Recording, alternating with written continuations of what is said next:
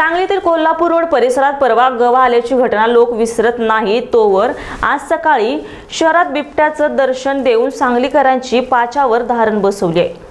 सकाळी योगा करण्यासाठी गेलेल्या काही स्थानिक नागरिकांना आणि एका चहा विकणाऱ्या युवकाला हा बिबट्या निदर्शनास आला आहे. लगेच पोलीस प्रशासनाला कळवण्यात आलं. त्यानंतर वन विभाग महापालिका अग्निशमन दलाने घटनास्थळी धाव घेत घटनास्थळाचा ताबा घेतला. दरम्यान शहरात बिबट्या शिरल्याची वार्ता वाऱ्यासारखी साऱ्या शहरभर पसरल्याने घटनास्थळी बघ्याची एकच गर्दी झाली होती. पटेल चौकातील राजाराम बापू बँकेच्या जिण्यावर एका भटक्या कुत्र्याला मारून त्याला खाण्याचा प्रयत्न या बिबट्याने केला.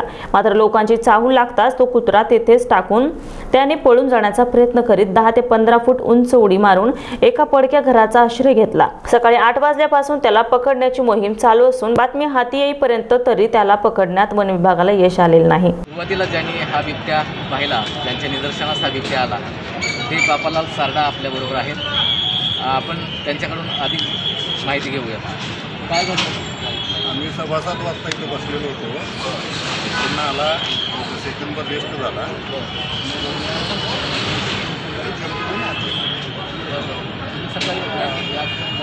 दररोज असतो आम्ही आमचा ग्रुप सगळा असतो. मॉर्निंग वॉक योगा करून बसतो. सव्वा. सकाळी तर हे बघितलं नाही आता. कुत्र्याला मारून त्यांना हे केलं आहे खाली मारलं केलं काम करा सात ते आठ इथं मला चहाचा धंदा तुझा धंदा मी आज नेहमीप्रमाणे सकाळी सात वाजता इथं चहा दुकान उघडण्यासाठी आलो होतो. दुकान माझं उघडताना मी बघितलं तर वरनं शाळेच्या दहा नंबर शाळा आपली आहे. त्या शाळेच्या कोलावरून कुणीतरी उडी मारल्यासारखं मला वाटलं. मला काय वाटलं माकड वगैरे असं म्हणताना मी तेवढं फारसं लक्ष दिलं नाही. पण ज्यावेळी ते माझ्या दुकानच्या समोर आलं तर त्यावेळी मी त्याला प्रत्यक्ष ओळखलं तर ते एक प्रकारचा पिवळ्या निळ्या काळ्या रंगाचा बिबट्या होता. अंगावरती त्या पिवळे पिवळे असे कसे होते. आणि तो माझ्या दुकानच्या समोरून रस्ता क्रॉस करून आपल्या माझ्या दुकानासमोर सांगली इलेक्ट्रिक पेपरचं दुकान आहे. त्या दुकानच्या जाळीला धरून तो वरती त्या पत्र्याच्या पलीकडे त्यानं उडी मारली.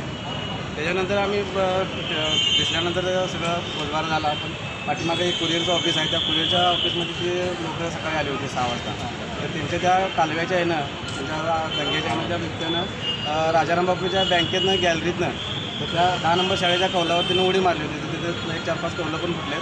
आणि त्या कौलावरनं डायरेक्ट त्यानं खाली जमिनीवर उडी मारली. पण ते उडी मारायच्या अगोदर त्या बिबट्यानं तिथं जे कुठलं तर कुत्रं मारून आणून वडत आणून त्या राजाराम बापू बँकेच्या जिन्ह्यात खात बसला होता. खात असताना ते त्या दंग्यामुळे त्यांना ते तिथं टाकून मागं टाकून ते इथनं पळून गेला म्हणून. आणि वेळ माझ्यामध्ये सकाळी सात सव्वा सात ते सात वीसच्या आहे आणि ते बिबट्या साधारण तीन साडेतीन फुटाचा बिबट्या आहे. नमस्कार. आपण आता आहोत सांगलीतील पटेल चौकामध्ये. घटना अशी घडलेली आहे की सकाळी सहाच्या दरम्यान सांगलीमध्ये पटेल चौक एका बिबट्याचं दर्शन इथल्या स्थानिक नागरिकांना झालेलं आहे आणि त्याच्यानंतर सांगली महानगरपालिका पोलीस प्रशासन वन विभाग आणि महापालिकेचा अग्निशामक दलाचे संपूर्ण टीम या ठिकाणी हजर झालेली आहे आणि या बिबट्याचा शोध सध्या चालू आहे.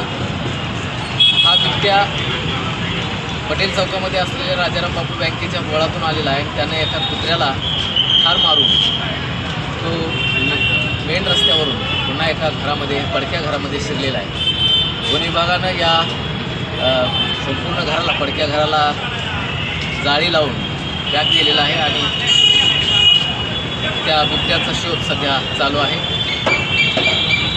अनेक सांगलीतील नागरिक आणि बघ्यांनी या ठिकाणी गर्दी केलेली आहे. स्टार महा स्टार महाराष्ट्रासाठी